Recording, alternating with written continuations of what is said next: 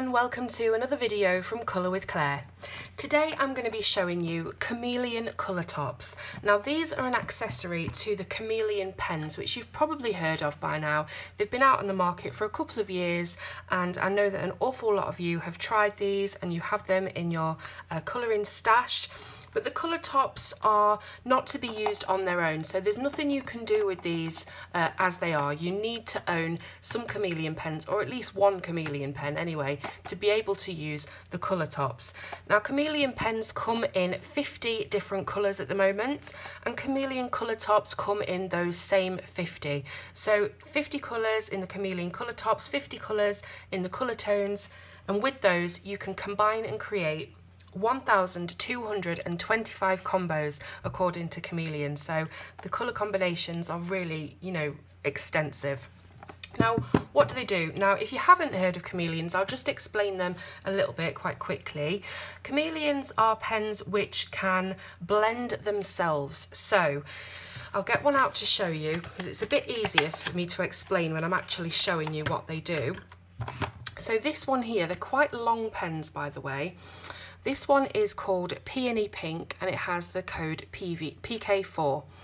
Now the chameleon pen is made up of some different elements. So we have this part here, which is the blending chamber, and this contains all blending fluid. It's all clear, colourless blending fluid.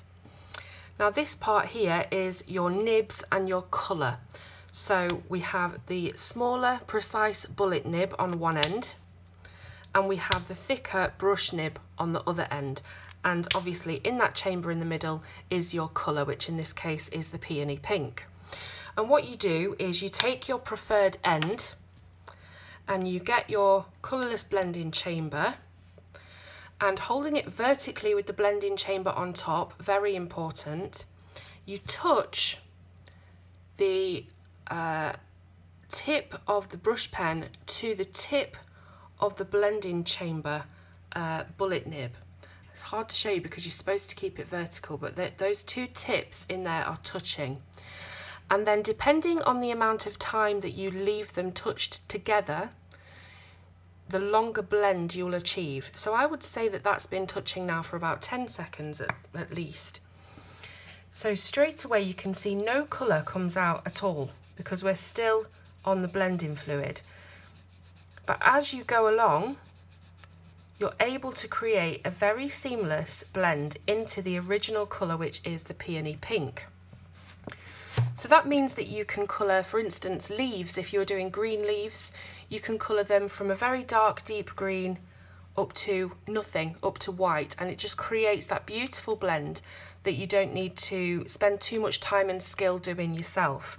Now, I have reviewed the Chameleon pens um, a couple of years ago, I think now, on the blog, and even though I liked them, I did find them a bit tricky to get my head around, and to be honest, I preferred using three or four different markers to get the same effect. It was just uh, a lot more um, a lot quicker and a lot less time consuming and having to hold the chamber and things like that. So they haven't been one of my favourite art supplies by any means, even though I can see that they definitely have a place in the colouring world for people who might not um, be um, confident enough to maybe do seamless blends with different markers and things like that. So they do have their place.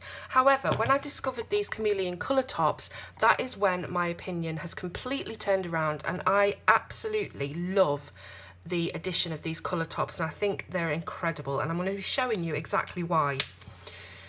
So you have your chameleon colour tones.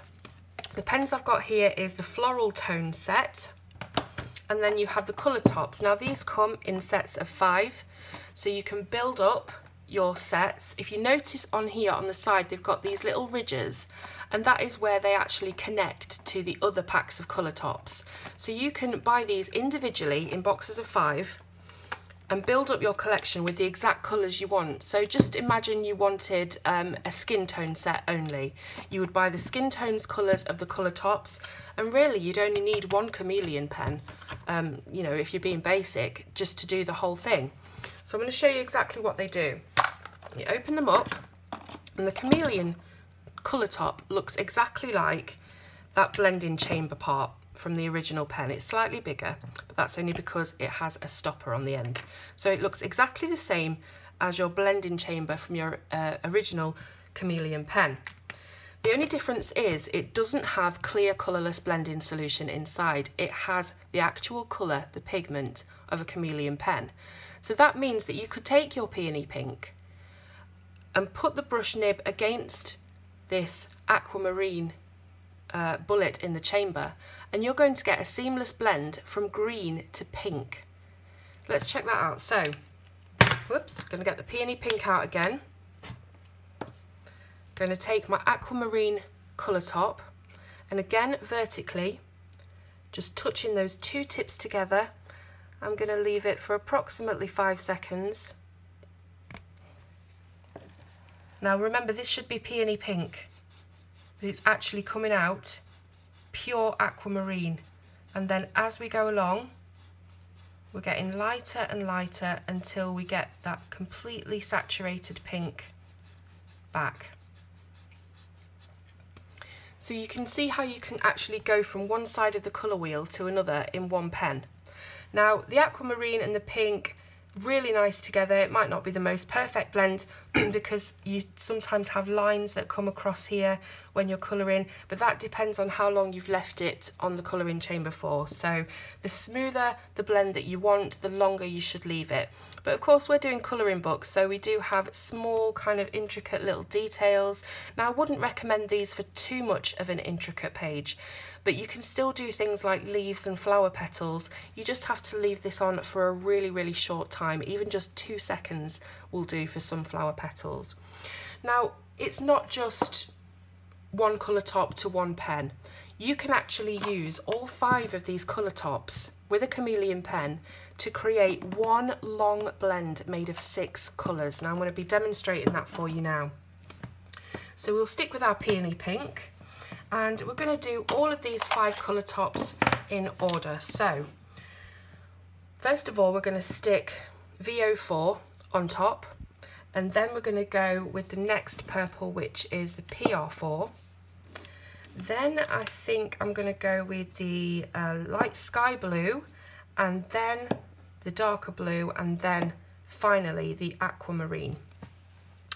So let's see how we're going to do this. I'm going to stick them on for five seconds each and we'll see if we can get a good colour transition. So that's purely back to peony pink now. Oh, take the lid off, might help. Sticking that peony pink right up against this VO4, two, three, four, five. We're then going to put the purple grape for five seconds. Two, three, four, five. Then the sky blue, which I'm going to leave on for a little bit longer because it's a lighter colour. Two, three, four, five, six, seven, eight, nine, ten. Just to make sure we've got that light colour in there. And then the blue violet, take the lid off again. Keep forgetting to do that. Two, three, four, five. They all fall down. And finally, the aquamarine. Two, three, four, five. So let's see if we've got this six colour transition. So we should be starting off with the aquamarine going into the blue violet. Then we have the uh, pinkish purple, which I believe is the PR4, the purple grape. And the deep violet, and finally coming back to that peony pink. Now, even though I did leave the sky blue on for double the amount of time, for 10 seconds, it's not actually shown up too well in this swatch. So let's see if we just put the sky blue up to the peony pink just by themselves so that we can see how a very light blue can transition to a light pink as we've not been able to see it here. And to be fair, we do have a lot of very, very deep dark colours in this blend. So the sky blue didn't really have a lot of chance to shine in there. So I've left it on there. Here we are, there's the beautiful sky blue graduating down to a lilac colour, a dusky pink, and then finally that peony pink that we started with.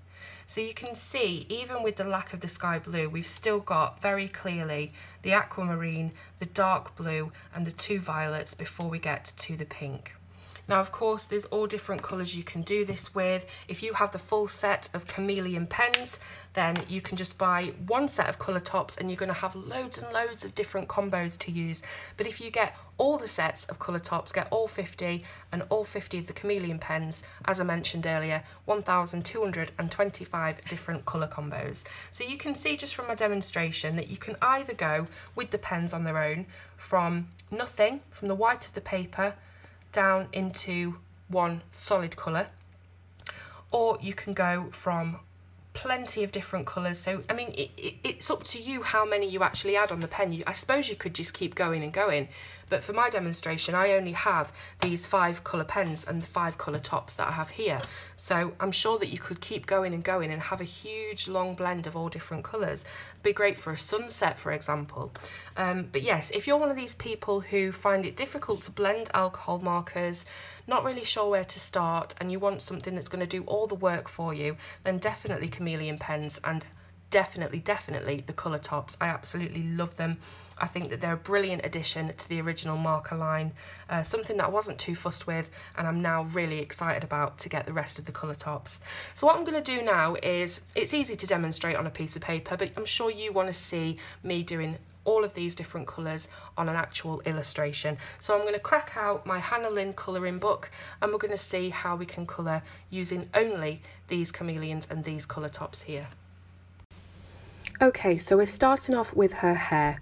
I've decided to stick with the peony pink and then add the colour top to it in the colour purple grape because I think purple and pink make a really nice transition and it's gorgeous hair colour. So with each individual section, I've tackled them each on their own and I've decided to make the highlight colour, the peony pink, in the centre of each section.